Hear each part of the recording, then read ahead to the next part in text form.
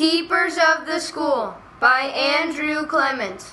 Hey Harrison, what are you reading? I'm reading Keepers of the School, We the Children. That looks like a good book. Well, why don't you read it? Next week at school. That was a great book about. Carter, don't spoil it. But if you really know it, I'm going to give you a little quiz. Bring it on. Question 1 Is the school in danger or good hands? The school is in danger.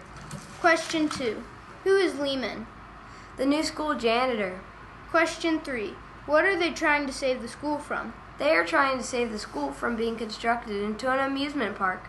Question 4 Who are the main characters? The main characters are Ben, Jill, and Lyman. Question 5 Is the book fiction or nonfiction? That's easy. The book is fiction. Question 6 Who does the project with Jill and Ben? Their bratty classmate Robert Garrett.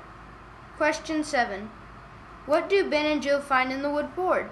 They find a key. Good job. Question 8 Why was Lyman looking at Ben's dad's boat?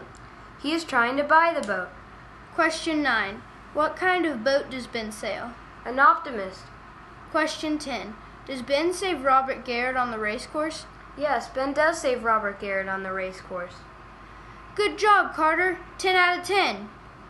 It's action packed. It's a mystery and adventurous. It's a fantastic book. Read it.